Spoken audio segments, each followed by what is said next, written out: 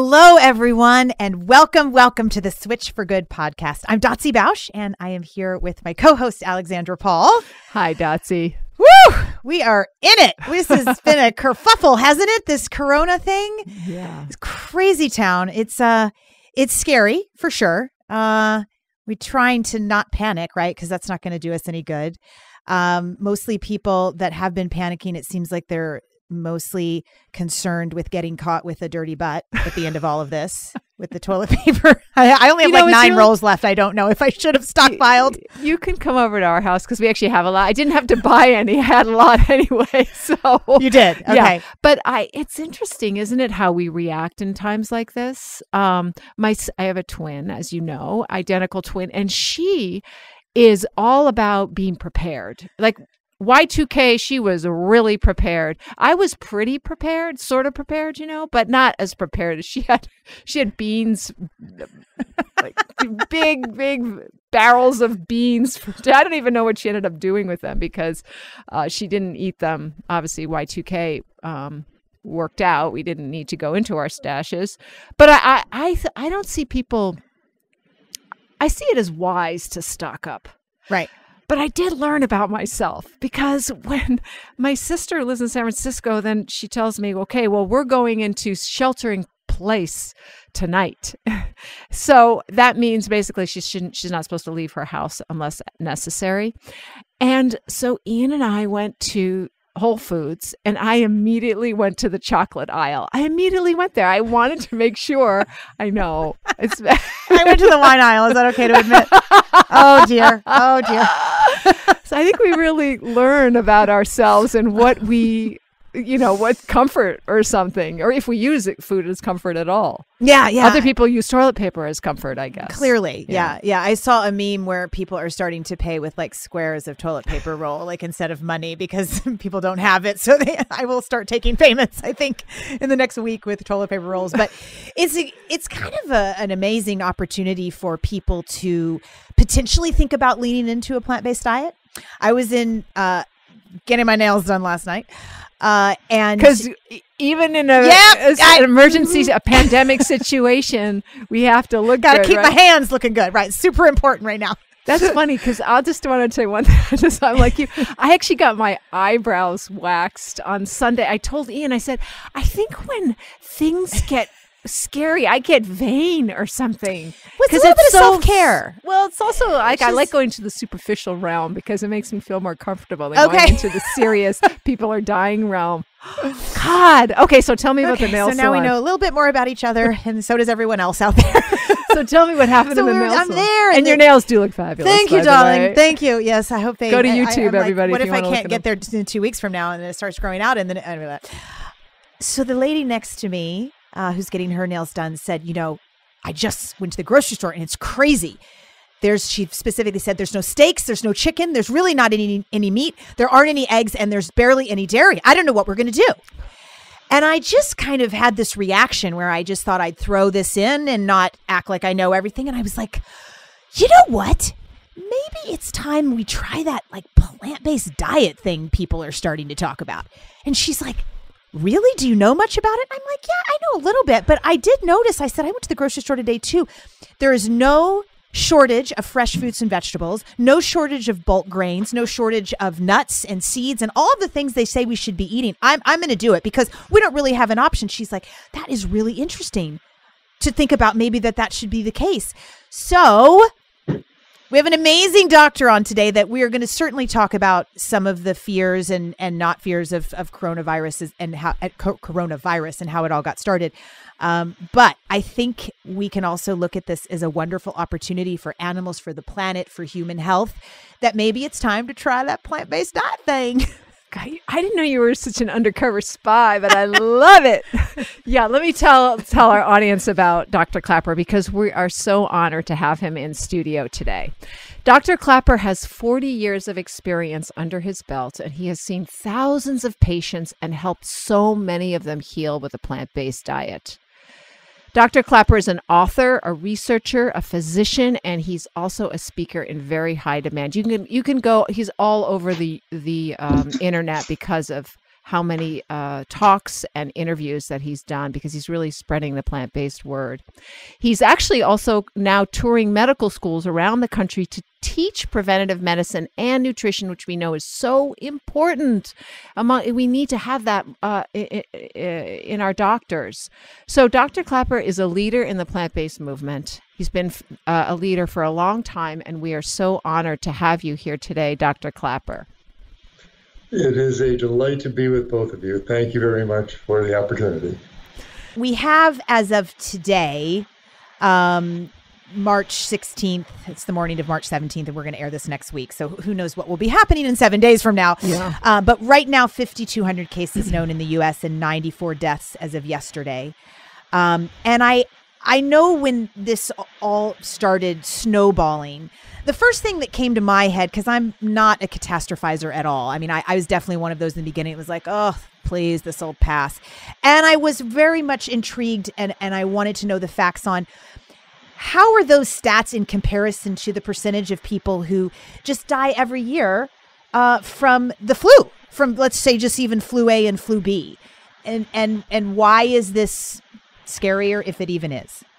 The vast majority of people who get this are going to recover. They're going to feel achy and fluey for a couple of days and want a low grade fever, sore throat. They know they've got a viral infection, and then it passes and um, so those may drag on for a week or two, but they get through it. And the good news is, if it's uh, like all the other viral infections, the person will then be immune. Uh, and so each person who gets it and gets through the other side, uh, there's one less place for the virus to set up housekeeping. And this is how immunity spreads through the population and how epidemics go away. So uh, the folks who get it and, uh, and get through it uh, are the basis for this whole thing fading away. And here's where, uh, unless you're, this is a respiratory virus. Um, it comes in, it's but it's not a classic pneumonia-causing virus where the bronchial tubes get all mucousy and thick, and uh, the person gets a classic pneumonia. Uh, this rides in through the bloodstream and the lymphatics, which is one reason they say don't touch your, your eyes or, or your mouth. What what happens is that um, it, the virus does wind up in the lungs eventually. People cough into their hands, say, and then they grab a doorknob and transfer the virus to the doorknob. And someone comes a few minutes later, grabs the doorknob, gets it on their hands, and then rubs their eye and the virus will get into the bloodstream, into lymphatic channels, ride through the bloodstream, and come in through the connective tissue of the lung, around the, the cartilage and the and the fibrous scaffolding uh, that holds the lung shape. And uh, it, it's not a classic inhaled uh, uh pneumonia type virus in that way. And so most folks, especially if you're young, uh, you know, your lungs get a little sore for a few days, but then, then you cough, uh, but then it goes away. It hasn't really compromised your ability to breathe, etc. Um, the problem is, in about 20% of folks, as the as the connective tissue of the lung gets inflamed uh, and swollen and edematous with fluid, uh, it gets stiffer, and so it's just hard to mechanically move those lungs in and out because the scaffolding is stiffer. And uh, so young people don't have a big problem with this, but if you are an old person, say, uh, with congestive heart failure and your lungs are all full of blood and stiff anyway, uh, this will certainly uh, tip you over into trouble. Uh, the folks with emphysema and, and, and, asthma who have stiff, uh, damaged lungs, uh, this can really put them in trouble. If you're diabetic and your blood's full of sugar, uh, it's harder for your white blood cells to you know, to combat the germs, and so the diabetic folks can wind up with problems. The older folks, and especially the very very frail ones, they're the ones as their lungs get stiffer are going to are going to suffer the worst from this. So um, it, it's no joke, but you're right. Uh, more people do die of influenza.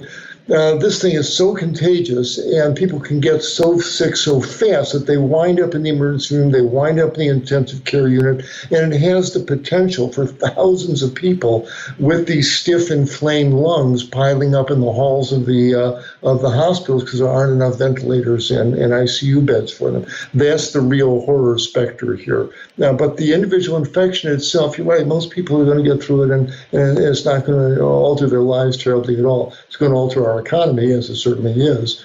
Uh, but as as viruses go, there, there, we've seen worse ones, and there will be worse ones, unfortunately. What about smokers, both cigarettes and marijuana? Uh, young people who smoke. Sure. Yeah, absolutely. Um, the the battle that gets waged in the connective tissue of the lung there, you need healthy lymphocytes, you need healthy uh, mucus, uh, you need uh, healthy antibodies, and all that requires healthy lung tissues. And, and inhaling hot smoke of any kind uh, tobacco smoke, marijuana smoke, etc. Well, it causes a burn. It causes a low-grade thermal burn, and now your body's busy trying to heal um, burnt lung tissue on the inner lining of the lung. Uh, it's not going to be very efficient in making antibodies against viruses. It's, it's, it's working full-time to repair this burn you keep inflicting. So, uh, no, uh, you're absolutely right. The smokers, including the cannabis smokers, uh, wouldn't be surprised if theirs wind up uh, in respiratory distress because they kind of set the stage for that with their with their inhaling of the hot smoke. Mm-hmm. I was Less listening. more. Mm-hmm. Go ahead. I was listening to um, a briefing um, from Cottage Hospital, which is in um, up in Santa Barbara. Barbara. Mm-hmm. Right. Uh, and that that doctor was saying this is just kind of a side note because I was just really interested in this uh, fact, and maybe this is true with all viruses. Um, but uh, as an athlete, I, I knew a lot about and learned a lot about uh, red blood cells and white blood cells. Uh, you know, just a lot about blood work in general, maybe more than I really needed to know. Uh, and but it, it they said that this virus, people are coming in and it's showing normal white blood cell counts around you know the normal like around four thousand or something. And I was just curious as to why this virus is or some viruses in general, why your white blood cell count stays the same but with bacterial infections, it does change significantly. Like your white blood cells kind of go on high alert. What what what what is the reason for that? Yes, uh, we uh, going to get into a little bit of, uh, of uh, technology here, but the uh, we have a number of different types of white blood cells as part of our immune system, and the white cells they're all they're uh, the white cells that are responsible for eating up bacteria, pneumococcus, the, the classic strep bacteria, etc. they're called neutrophils. They're made in the bone marrow, and they have to physically uh, uh, creep up on the bacteria and engulf it and uh, inject peroxides and actually kill the bacteria hand to hand combat, so to speak. And, uh, and in the middle of that pitched battle, the uh, the bone marrow was churning out lots of these white blood cells. You know, bring in the reinforcements, send in the cavalry, and and classically, uh, white blood cells the total count goes up uh, 10,000, 12, 15,000 or higher during a rip roaring uh, lobar pneumonia. You get white counts of 20,000. But these are neutrophils that eat up bacteria. What's happening with viruses is a whole. It's fought on a whole different channel. Um, here, uh, the neutrophils don't react much, but another type of white cell called lymphocytes, uh, which are made by in the bone marrow, but also in the lymph nodes. Um, they don't attack the viruses directly. Viruses are way too small. Uh, what the what the uh, uh what the lymphocytes do is they start churning out antibody proteins. Uh, they're like this the uh, the uh, anti-missile missiles uh, that that uh, seek out the uh, the viruses and lock on to them, uh, and uh, and they're taken out of the system by a number of other mechanisms. And you don't need whole lots of numbers of, of lymphocytes. occasional, some some viral infections do cause a lymphocytosis, uh, um, mononucleosis, uh, uh, Epstein-Barr virus infections often cause an increased lymphocyte count, but often you don't. But if you look for it, what does go up, of course, is the antibody, the IgG level mm-hmm. skyrockets. And, and there's the sign of the battle, not the number of lymphocytes, but the amount of antibody proteins they're putting out. That goes through the roof. And that's the sign of a viral battle going on. So it's a, the difference between the, the two types of white cells that respond to the two different types of infections, bacterial versus viral. Sorry if that was no. well said, and the analogies were great. I understood it. Um, so if I understand good. it, I know our very intelligent audience is going to get it. yeah, so I was talking with my husband Ian yesterday, and I realized how little I know about contagion because you know how you have somebody at you know who's come to visit you at the dinner table and they cough and you you say oh uh, you know and they say, oh no, I'm not contagious anymore. I've had it for a week or whatever. How do you know when you're contagious, and what's the general rule of thumb for contagion for both this virus and um, I guess there's a difference. You've just elucidated it between bacteria and viruses. Is the how do we know when we're contagious and not contagious?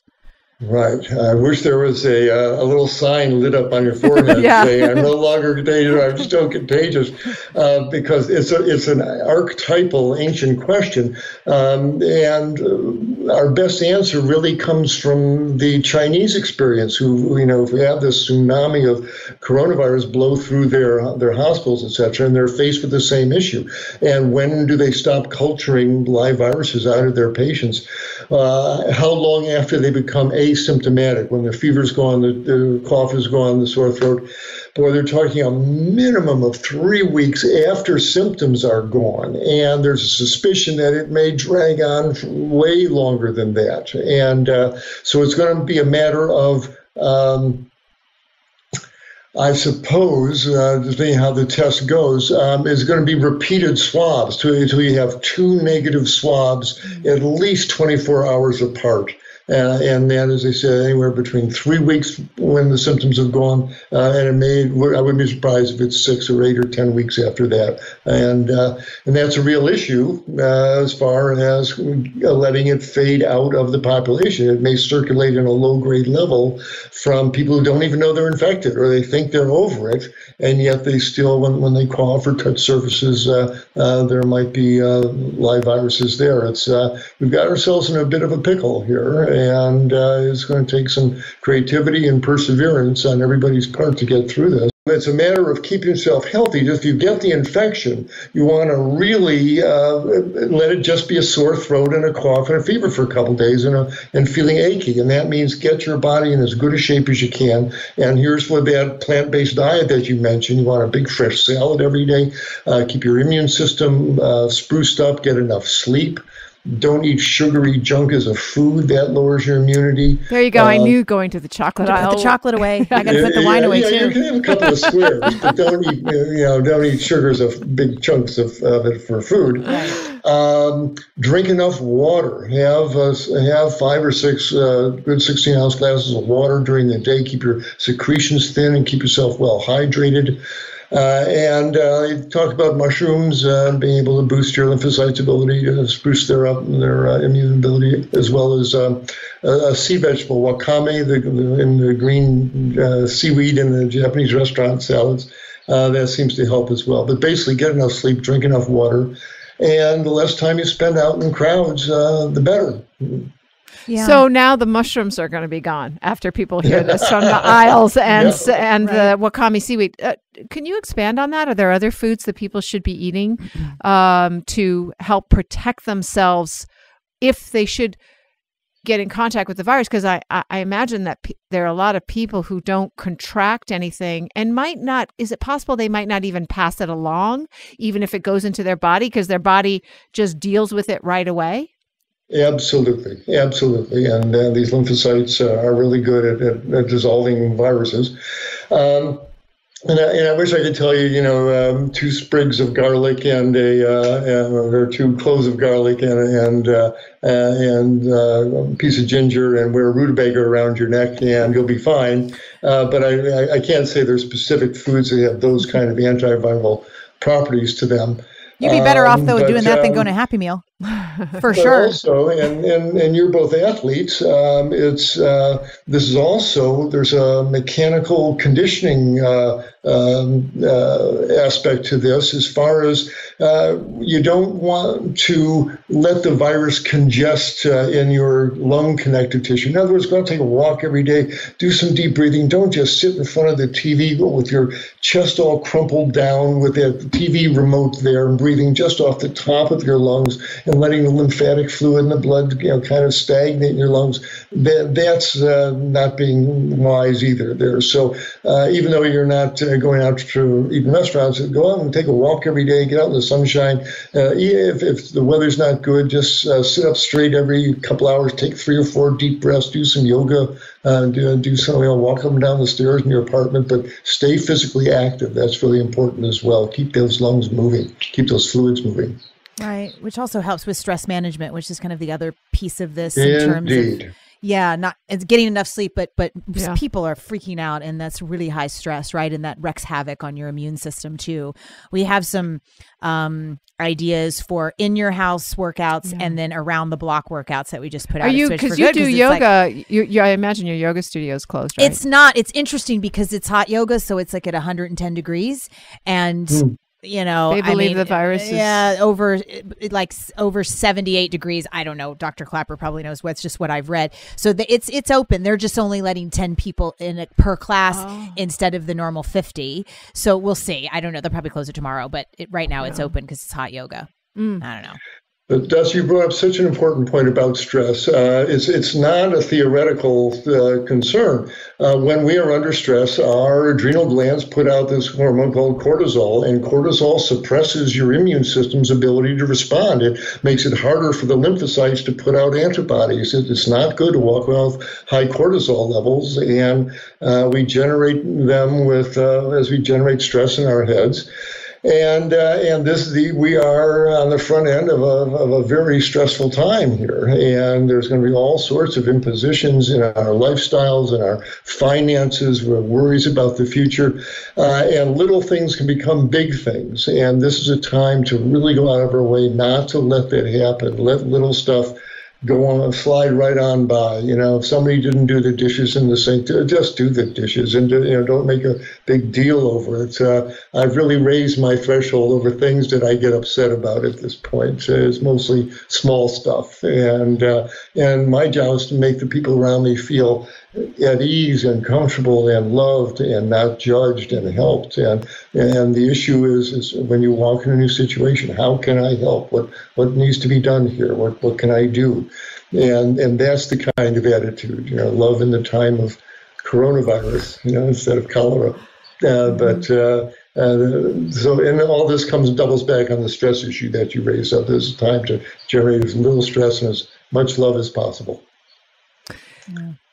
With Americans being um, more obese than those in Asia and generally having worse health overall, um, how is that, do you feel, going to affect? Because uh, not, and I'm not just talking lungs like we discussed earlier, but they did mention obesity and underlying conditions. I'm just wondering about Americans are much less healthy than their counterparts Oh, in in uh, yeah. China.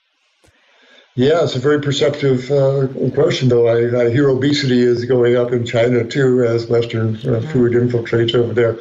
Uh, but obesity is not a state of health, uh, the, despite what some people kid themselves about. Obesity is a state of inflammation. Um, uh, what makes that big abdominal girth uh, bulge out so much is that in the abdomen, I've seen lots of them open, the um, the uh, intestines in, in the abdominal cavity are wrapped in intra-abdominal fat, and this is not inert stuff. Uh, the the intra-abdominal fat puts out these very powerful uh, molecules called inflammatory cytokines, and they set off inflammation throughout the body. And, and obesity is a state of inflammation, and that in, two, uh, in turn doubles back and inhibits your immune system. If your if your body is constantly percolating a, a low grade of inflammation in your tissues uh, and, and in your in your immune cells, in your bone marrow, etc., it's just not going to be efficient at marshaling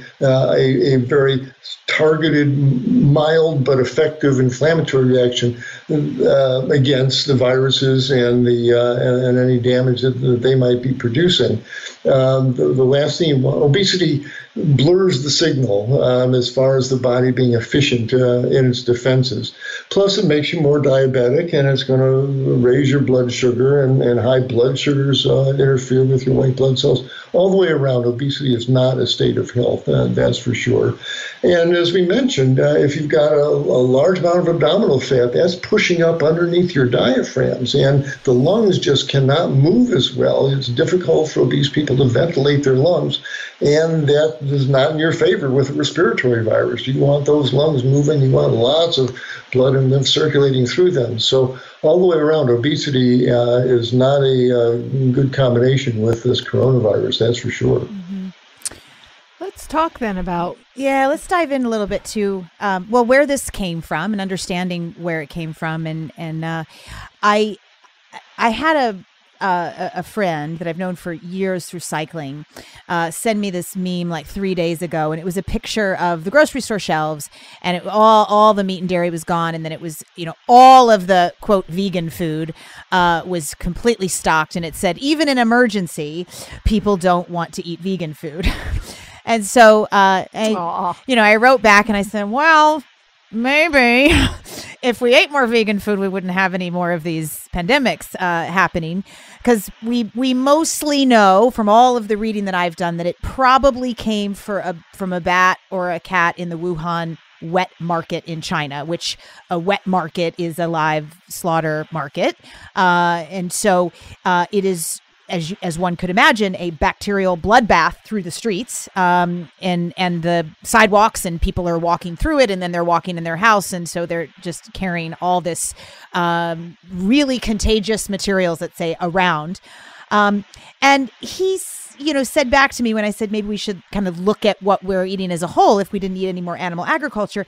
And as we know, many people that eat meat have animals in all sorts of categories. And he goes, well, yeah, but it came from a disgusting bat in a gross market in China.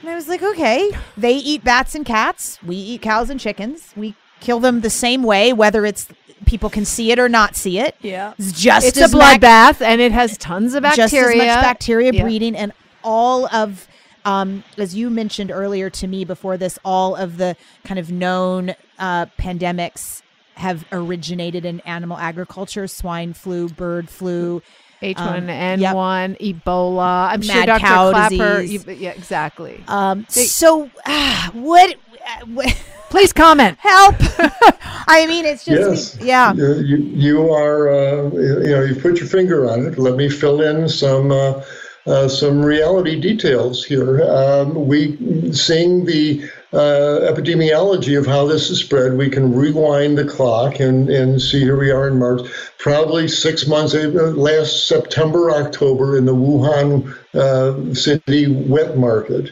Um, there, they have bats. Uh, they have live bats and, and dead ones. Um, and the bats, uh, people go into the cave and they either take them off the wall during the daytime or they trap them in nets. These bats are filled with viruses. A bat cave is, is plastered with bat guano that, that uh, the bats pass back and forth. The uh, bat saliva, bat urine uh, is full of these really aggressive viruses. And um, but because uh, you know, I'm sure for the last thousand years, you know, stewed bats have wound up in, in in traditional stews or whatever. But it's time to, like so many other things, to leave that behind. Believe to leave meat eating behind in general. Well, because I mean, you just required. just to just to clarify is that they put Yeah. it in a stew, but it was maybe you know twenty people, and then it didn't spread. Those people didn't travel, and Well, so yeah. now Let me. Right. I think it was a slightly different scenario. Here's what I think happened. So they gather these poor bats up. Uh, they put them in these cages. Uh, they, they defecate on the pangolins, the other animals below it, and then then, uh, then they become secondary hosts. But on but sometime last September, uh, a, a man or woman working in the market reached in, grabbed a live or dead bat, put it on the chopping block, spread its wings out, and went to butcher the bat because somebody wanted it, it cut up for for stew. And when that cleaver came down, and it's and it split the carcass in half. Um, the blade went right through the bladder and the abdomen. And when that happened, a spray of bat urine and bat feces went all over, got on the man or woman's face, and she wiped her face, and, uh, and she went, went like this and inhaled the the bat urine droplets. And that's when it rode through her circulatory lymphatic system, got into her lungs. She went home, started coughing. She, she or he uh, became patient zero, and and we now see the results of that. And when that cleaver came down, human history changed with that stroke. Uh, and and this is how interconnected we are, and how that oh that dirty bat. Well, there is it's a message from the bats and that we are not your food. Uh, we are. it's time to stop eating all these poor animals. And uh, but but this is uh, you know the bad the the these confinement operations, no matter what the animal is, when you combine, when you confine 100,000 pigs or chickens or geese or sheep, whatever it is, are going to spread these nasty diseases and breed these viruses that go back and forth. And as you rightly said, Alexandra, um, H1N1 is, is a swine, a swine virus. Uh, and and it killed a whole bunch of people in this country, and and we and we're certainly breeding that uh, fetid uh, disease producing process uh, here in America in our confinement operations. So this is now those dirty Chinese. We we, we create the very same problems here. And so it's just a matter of time before a cattle virus or, or, or a pig virus, you know, jumps out uh, and causes this havoc. This is all a message from the animals that the age of animal eating is over. We are not your food. You are plant eating simians, humans. Eat your rice and beans and greens and fruits and vegetables. Leave us alone. Don't come into the caves and, and, and pluck us off the walls. You know, we're not your food. Uh, eat plants and you'll be healthy. What would you say to the American who says, but it's different for us? We have our our farms are cleaner, the way we kill them are cleaner after they're packaged in a more clean way, etc. How, how would you?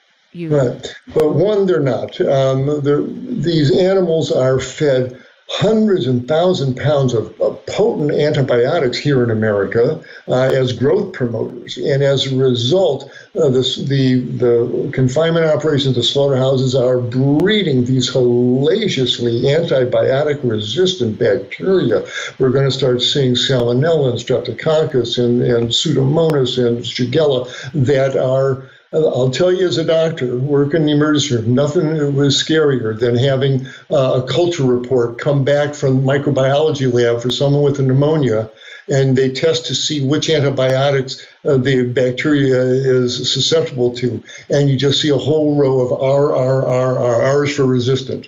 Resistant R, R, R, R. All the antibiotics are listed. There's an R next to every one of them because we've used those antibiotics uh, uh, as growth promoters uh, in the slaughterhouse. And, uh, and so we're, we're breeding the, our American style of microbiologic apocalypse uh, in, in our the, the, way we're doing the uh, uh, the mass flesh production facilities.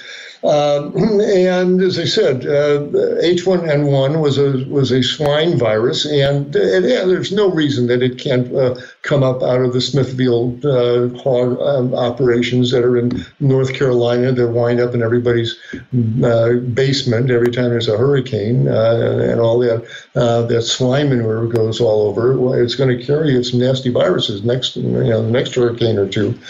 We cannot be complacent about this. We are violating natural natural law. No other animal does this to, to other animals, and and uh, and we're reaping the, the microbiologic whirlwind uh, that comes off of violating natural law like we're doing this. And we're not meat eaters to begin with. We are we have don't have claws on our hands. We have fingers. We have uh, grinding molar teeth and long intestines. We're plant-eating creatures like the our gorilla and bonobo cousins, and we ought to be eating basically the same fruits and leaves that they're eating. And we're meant to do to to eat plants, and, and we, we, it's time to start honoring that. Uh, and that's what this is really a whole uh, really the message that we have to uh, to open to. But ooh, we don't want to hear that. Uh, but now the veggie burgers have gotten so good, it's not even that big a sacrifice. I do. I do wonder though if people really are going to learn why. Because Americans aren't. We're not great at asking why. No, they're not. Uh, no. When 9/11 happened, we didn't really think, why did this happen? We didn't back up really nope. far to figure it out so that it wouldn't happen again, and we wouldn't have. Uh, we still are afraid of terrorism today, uh, 20 years later, um, and so we never mm-hmm. really got to the root of the issue, and I worry that it's going to be the same way with this is that we're not really going to change our ways and really recognize the consumers are not going to recognize it. I can understand why the farmers mm-hmm. might resist, but mm-hmm. Um, You're right. For for smart creatures, we are slow learners. You know, absolutely. Yeah. It, it, it's we can identify a genetic mismatch on gene A21 on chromosome 14. Boy, we can home in on that with precision. but the thought that eating cheeseburgers and pizzas might be clogging up our arteries and that confining animals breeds viral diseases, this we well, we don't want to look at that. You know, it's, we're, we're some creature. And Homo sapiens, funny, funny species. I, I, wanted to ask you just a question to go, uh, on the RRRR, the resistant ba- uh, yeah. bacteria that was in the patient. Is that specific more apt to happen in patients who've eaten a lot of meat, or have we just changed the entire culture? No pun intended, so that everybody has these resistant antibiotics, even if they've mm-hmm. been this resistance to antibiotics, even if they've been vegan for decades. Oh, fascinating question. Um, there, there's a lot of subtle gradations uh, in that, but um, uh, the more meat you eat, there's no question it changes the microbiome in your gut. Uh, and if your immune system then goes down, if you wind up on immunosuppressant drugs for your psoriasis or for your uh, for your Crohn's disease, or you develop a leaky gut, you've got some nasty antibiotic bacteria already poised to get out in the bloodstream. Um, uh, these folks are, uh, I think, statistically at much higher risk for developing these nasty antibiotic resistant infections, uh, no, no, question. And we're going to be seeing more and more of them. They go, oh, where did it come from? It came from the chickens, it came from the pigs, is, is where, where it came from. Mm-hmm.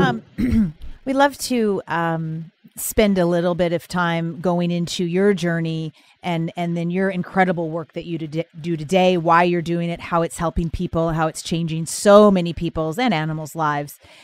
Uh, you went vegan in your early 30s right? Yes. Is that mm-hmm. okay.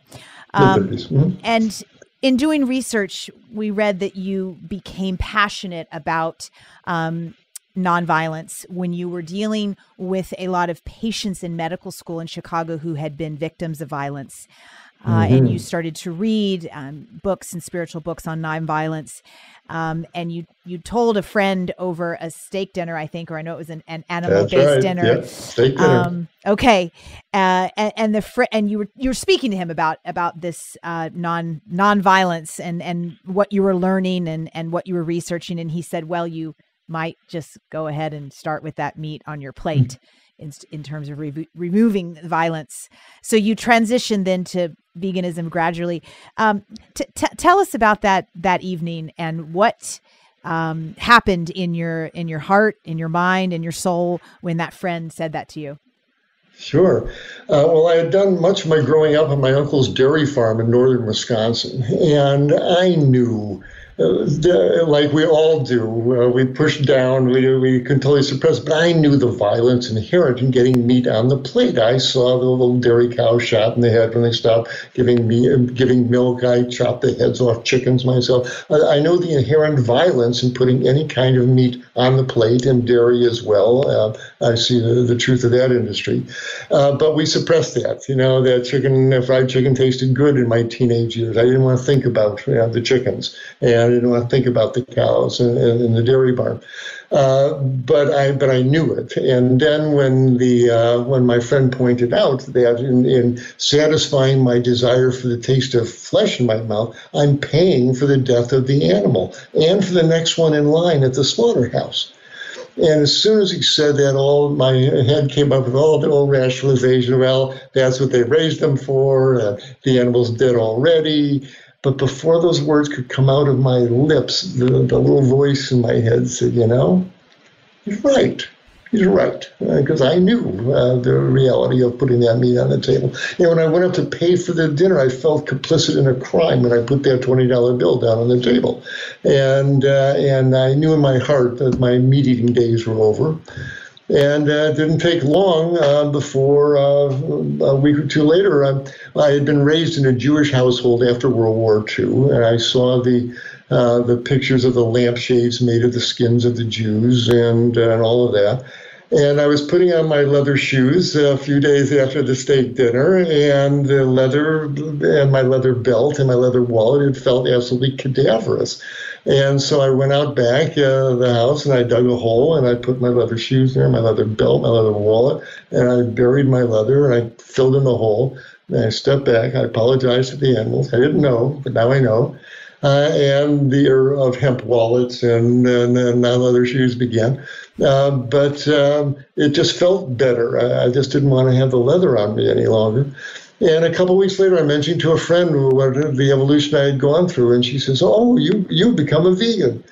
I had never heard the word, but it was 1981. Uh, okay, I guess I have and then haven't looked back since. There's no, once you look behind the curtain, you can't pretend you don't know what's behind the curtain. You know, once once you see the truth of it all, there's no there's no place to run and, and still have a good night's sleep. There's no the animals are always looking. My conscience is always looking, and uh, and my heart's always looking. So yeah. uh, I've been a vegan ever since. Go and ahead. you, uh, as a doc, we know didn't get a lot of training in uh, medical school on uh, plant nutrition. And so I get asked all the time, and I'm sure you do. And I, I, I want to hear what you first dove into, you know, right when you made the switch uh, and you said, okay, no more. What what did you start doing? What was the first right. couple things you did? What did you eat? Where did you find it? Because it sounds a little bit overnight there that this this happened. Right. You know, right? This wasn't over two years. This was over maybe a weeks or something. Um, yes. What did you learn? How did you figure out what you're going to eat? Because that's everybody's conundrum. Like, okay, maybe yeah. I'm going to do this, but what do I eat? Good question. Good question. Uh, it was 1981. Not a lot of support. I agree, but uh, I was I got the big message from my heart in that in that restaurant. But I was getting another message in the operating room. I was a resident in anesthesiology, and I was on the cardiovascular anesthesia service. And every day I'm putting people to sleep, and I'm watching surgeons open their chest and open their coronary arteries and pull this yellow guck out of their arteries, which was now very well known. It's largely the fat of the animals uh, these people are eating. Uh, there was already already reports in the medical journal that you can melt the stuff away with a plant based diet. Uh, and my dad was already showing signs of clogged arteries that would eventually kill him. He was already having angina. And, uh, and I knew I, I had the genes for it. I'm going to be one, if I don't change, I'm going to be on that operating table with that Stryker saw going up my sternum. And I sure didn't want that to happen. So I, so that was another avenue of, of messaging that I was getting. So between the two, I said, well, what am I going to eat? Uh, now, first I was in Vancouver. It's a great eating city, uh, and I'd, I'd, already been a big fan of Indian food, and I knew in the Indian restaurants it's not hard to get a to get a, a vegetarian meal, and uh, I got uh, bean tortillas in the uh, in the Mexican restaurant and the Chinese food was, was easy, and uh, and I ate a lot of Indian and Chinese and Mexican food for uh, because I was a bachelor at the time, uh, and uh, but my body loved it. Within 12 weeks, a 20 pound spare tire of fat melted off my waist. My high blood pressure came to normal. My high cholesterol came down to normal, and I felt great waking up in a nice lean light body every day, and uh, so uh, there, there was no going back at that point. And at that point, I realized I didn't want to be an anesthesiologist and spend my career putting people to sleep. I'd rather go back to general practice and help them wake up, right? And so I great. did. and uh, so I went back to general practice, uh, moved down to Florida, and um, and started having my patients adopt a similar diet. Found people in the neighborhood to give plant-based cooking classes, and my patients had the same experience. They lost weight, their high blood pressure came down, their diabetes got better. They turned into normal, healthy people right in front of our eyes and there, and I became a plant-based doc uh, from that point on. I'm the happiest doctor I know because my patients get healthier, and so uh, medicine's been a lot of fun. But it's a matter of bringing that message to my colleagues at this point. and that's uh, that's what I'm devoting the rest of my career to, because as you say, we, we get no uh, training in nutrition. We don't have respect for the subject. And the reality is, and I tell these young docs and these young medical students, when you open the door of the waiting room in, in your office or in the emergency room, you're not going to be seeing people with leprosy and smallpox. It's going to be obesity and diabetes and clogged arteries from what your patients are eating. It's, it's not etiology unknown. This is what happens with the American diet when bacon and eggs and cheeseburgers and pizzas and uh, egg McMuffins through the bloodstream hour after hour, year after year. You're going to wind up with a body that's clogged up and inflamed and diabetic and hypertensive and, and ill. And, and let's get real about that. And you need to know, I tell the young first, second, third year med students, that you put these people on a whole food, plant based diet, run lots of salads and soups and rice and beans and greens and fruits and veggies through them for 30 days, 60 days, 90 days. And the change, the transformation is stunning. Within days, the obesity starts to melt away, and the arteries open up, and the high blood pressure comes down, and the joints stop hurting, and the asthmatic lungs stop wheezing so much, and the migraine headaches go get better, and the psoriatic skin clears up, and the and the colitis gets better, and they turn into normal, healthy people. And I tell them, "Listen, what you know? Why'd you go into medicine? You want to heal these people, or don't you?" If you do, this is the most powerful transformation you can offer. It's unethical to withhold this information from our patients, and you need to know this. Because if you're just going to see them back once a month and raise their statin dosage and raise their metformin dosage, and they come back in a month and not get real with them about why they're sitting in front of you, obese and diabetic and hypertensive and inflamed, then you're not practicing complete medicine. You want to heal these patients, then get real, then find a plant-based dietitian in the neighborhood, send send the patient to her, let her do the counseling, let her show them the videos, let her take them shopping, and see them back in a month, see if they'll be healthier, which they will be. This is how medicine should be practiced. And the students are very open to this message. It's a hopeful message. And uh, our uh, 501c3 uh, uh, uh, institution is called Moving Medicine Forward if people are interested, uh, they can go to my website, doctorklaper.com, and click on Moving Medicine Forward and see what we're doing. We could sure use some help uh, with uh, plane tickets, etc. And as soon as the uh, as soon as the uh, corona tsunami passes through, uh, I'll be back at the medical schools.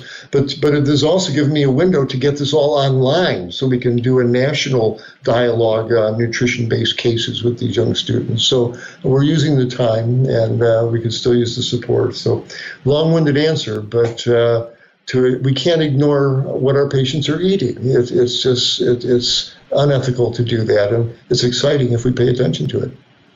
Well, thank you for that work because it's so important, and you're you're uh, multiplying expon- exponentially all the knowledge that you've gathered by imparting it to other doctors, who will then go tell their many many patients. Um, right. So that's, that's such an amazing legacy.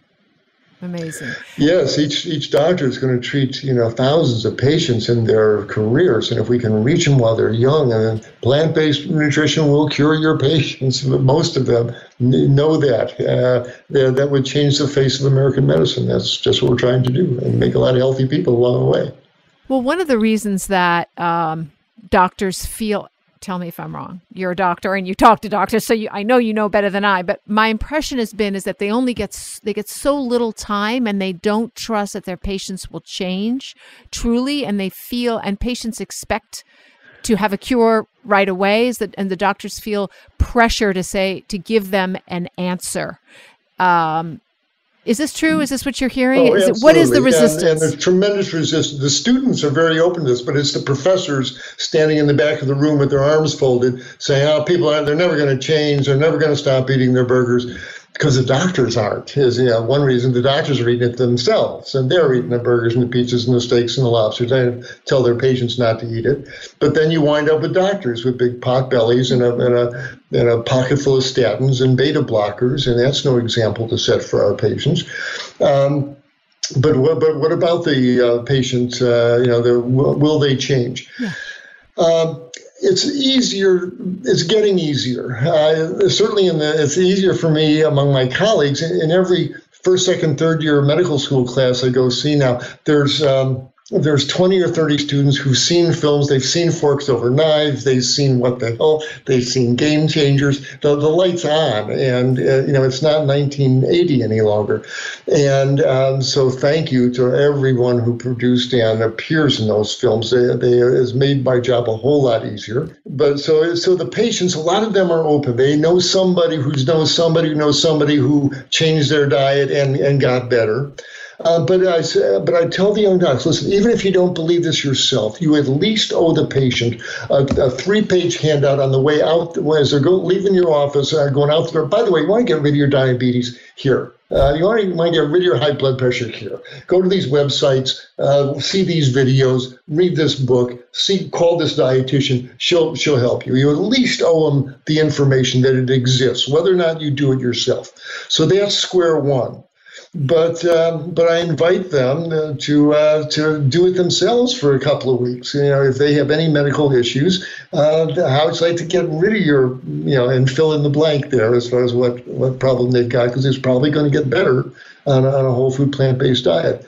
So we need to just get that foot in the door, and that's why I'm, I want to talk to the young med students before pharmacosclerosis sets into their brains and they think that uh, the drugs are the only treatment for these these uh, maladies that are caused by what they're eating, and so it's uh, you know it's a uh, balancing act, it's a battle, it's a struggle, but it's the only one worth fighting for me at this point. Uh, I really my legacy I want to be that I helped my beloved profession wake up to what our patients are eating as a cause of their disease and the key to their healing. If I can uh, uh, get American medicine tuned into that, and, in Western medicine in general, I'll say mission accomplished. We got a long way to go. What? what uh, so some people say, "Oh, I tried being a vegan and I didn't feel good." And you mm-hmm. did a mm-hmm. study on this and uh, mm-hmm. had some thoughts about it. What do you tell right. people when they say yeah. that to you? Right. Um, it's possible. You know, at, at age, uh, we're, we're funny creatures, we Homo sapiens. At age six months uh, of, of age, the baby's still nursing at the breast. And with all the love in the parents' hearts, your mother didn't know, my mother didn't know, but with all the love in their hearts, at age six months, that jar of, baby lamb and baby chicken and baby turkey is opened.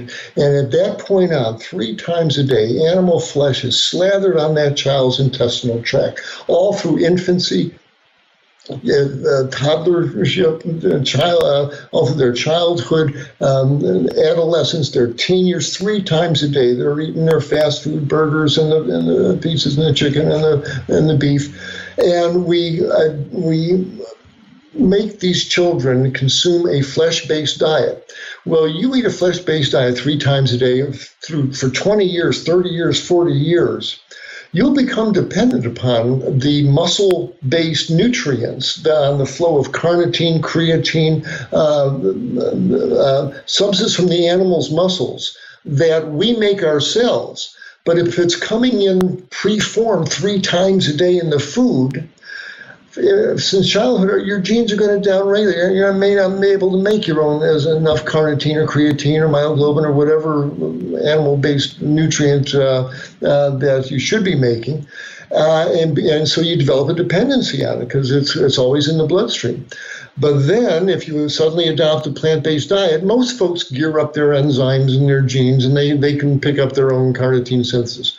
But a significant number of folks uh, might take them uh, six weeks, uh, three months to, to really gear up their enzymes. And during that time, they draw down on their own stores of, of uh, muscle based nutrients and they don't feel so great. And then they eat a piece of meat. And all that preformed uh, animal nutrients flows through them, and they become dependent upon. And they say, "Oh, I feel great, vegan, schmegan, man. I need my meat." But what do we witness? This is not normal human physiology. This is an acquired dependency that was created by feeding a human infant animal flesh three times a day since infancy. Um, you know who doesn't get meat cravings? People have been raised as vegans since birth. I've delivered a couple dozen of them in my career, and I watched them grow up into big, strong, healthy people um, with, with bright minds and, and healthy bodies, and they don't have meat cravings. Their mouths don't water when they walk past a barbecue. They are different physiologic creatures. We are not carnivorous apes. We, we do we do not have a natural requirement for animal flesh, and and and most folks are, are, do quite well on a completely plant-based diet. But those folks, to uh, come back to your question, the folks who saying I, I didn't do well and then I needed I need some meat, yeah, they were probably telling the truth. They probably did have a dependency on this, and some folks may have to taper off uh, they, they may have to do a gradual transition. They may, as they make that transition, uh, if they're that dependent on it, they may need to eat a small amount of animal flesh once a week uh, for you know X number of weeks, and then stretch out the interval between it as their enzymes gear up. And it might take them three months, six months, a year to taper off, uh, getting off that meat-based diet. They've been eating it for 40 years uh, it might take them, you know, 6, 12, 18 months to taper off. That's okay, as long as the majority of food that goes down their gullet is whole plant foods. If there's a little bit of uh, animal food there, uh, rarely, that if it helps them keep their balance, uh, I'm, I, I, don't have a problem with that. Why are um, creatine and carnitine so addictive as opposed to all of the other elements of meat? We've heard you speak about that before. Why are they so addictive for people? Well, um, carnitine in particular is involved in get, harvesting the energy out of fats. Uh, it helps move uh, fatty acids into the mitochondria to, to, be burned for, for energy. And and if, if there's a relative carnitine deficiency and you don't uh, aren't able to tap into the uh, the ATP production from the fat, uh, then you're, you're going to feel depleted. You're going to not feel that you've got the muscular strength that you want.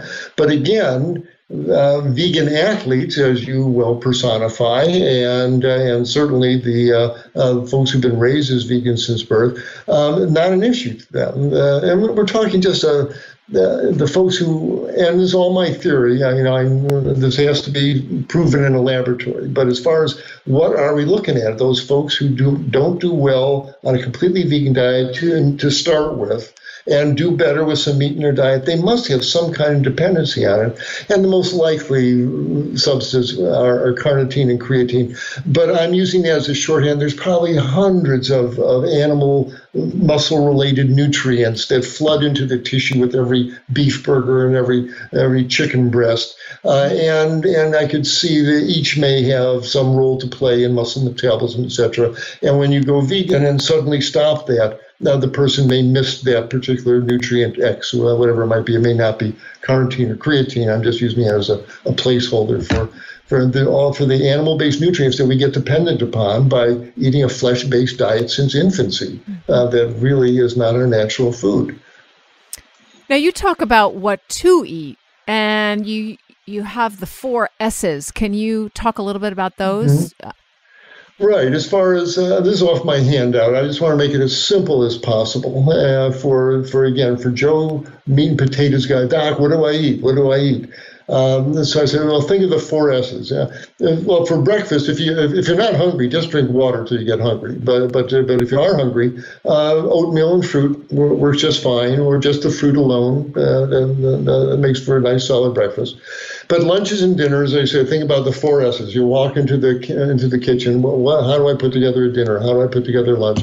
Four S's: soup, salad, steamed veggies, and starches. And so, um, uh, so salads, uh, should, everybody should have a big salad going in the fridge all the time, and just you know take some out and come up with a no oil dressing over that. So salad should be part of at least you know, at least once a day you want a big fresh salad. Twice a day is even better, lunch and dinner. But uh, so first essence salad. Second, I'm a big fan of hearty vegetable soups. Got to break out the crock pot and, and make up the dynamite uh, vegetable soup. You can buy frozen vegetables all cut up, organic ones at the, the supermarket. People say, I don't want to spend all day cutting and chopping. You don't have to. Open up a bag of cut up organic veggies and throw them in the pot. Uh, throw in a cup of rice, a couple of beans, a couple of lentils, whatever, whatever you'd like. Uh, season it however you want and uh, let it cook during the day or, or, overnight. And you got this big pot of soup every time you walk into the kitchen and ladle out a cup and, and enjoy it. Um, uh, take uh, about half of it and pour it into Tupperware plastic containers and, and let them cool put a lid on them and put them in the freezer. Now you got a bunch of frozen soup portions there to bring out and, and heat whenever you don't want to, to cook. So soups are a, a big part of a healthy plant-based uh, diet plan uh, salad soups, um, steamed veggies. Uh, the only cooking you need to do is know how to use a vegetable steamer. You want something green and something yellow pretty much every day. You want something green, kale, chard, Brussels sprout, broccoli, asparagus, bok choy, anything dark and green, a nice helping of that once a day. And something yellow, orange, carrots, squash, sweet potatoes, uh, yams. Uh, green and yellow, green and yellow are the are your watchword colors there uh, to put together a healthy meal. And then some kind of starch for calories, whether it's a whole grain. I'm a big fan of quinoa and millet and buckwheat. Um, uh, you got to deal with the arsenic in the rice these days, but there's uh, there's non-rice uh, grains, uh, and find a way to get some kind of legume. It doesn't start with S, but uh, they're they're just protein bananas. So anything in a pot is a legume: beans, peas, chickpeas, lentils. So uh, so have a lentil stew, a bean burrito, a hummus sandwich, something with, with uh, legumes frequently during the week if you do that, lunches and dinners just fall together. And as I said, you make up a big pot of soup. You can eat off of it for three days. And uh, so you just have to cook like twice a week. Use your freezer, and again, the more you do it, the easier it gets. And have fun with all the all the cuisines, all the Italian and Chinese and East Indian and Mexican and Thai. Uh, there's no end of ways to entertain your tongue with plant-based uh, cuisine. And no end and, of uh, flavor with all yes, of those different really, types of cuisines. You know, the all. big sacrifice. We're asking people to choose the bean chili instead of the beef chili. Yep. You know, it's a, not that big a sacrifice, but it makes all the difference in the world, literally. Yeah. So we're still good. If you have ever listened to this podcast, you know that Alexandra and I are potato heads. we will eat potatoes, breakfast, lunch, and dinner, just yeah. whole potatoes. Yeah. Chip and garlic sauce. and potatoes and greens. yeah, yeah, yeah. Yay. Well, yeah. you're you know, you're making a world of difference and I'm just so impressed with how you're spreading the word through doctors. It's just genius. And um, thank you so much. We're going to put in the show notes about your program so that people can go there and support you and learn more about it. Um, but I just Dotsie and I want to thank you from the bottom of this our hearts outstanding for coming on oh. the show. Thank you. I thank you from the bottom of my heart. You are such great ambassadoresses for uh, for sanity and for love and for uh, for the animals and for uh, for sustainability on this planet. So thank you for setting the example and getting the word out. We're all we're all on the same team. we sure are, especially times like this. So indeed. Thank you. thank you. Thank you. Corona. Mm. You're so welcome. Thank you, guys. All the best. Bye bye. And to your, your listeners. Bye bye. So, thank you so much for tuning in today. If we helped you in any way, then click the subscribe button and let's keep hanging out together. We have so much more to share with you. And if you need more information on actually making the switch for good, please visit us at switchforgood.org for loads of info. And you can subscribe to our mailing list where you will receive all sorts of super cool gifts, discount codes to our very fave dairy free products, and a lifetime of powerful health tips. So join us on the journey to switch for good. This is the future.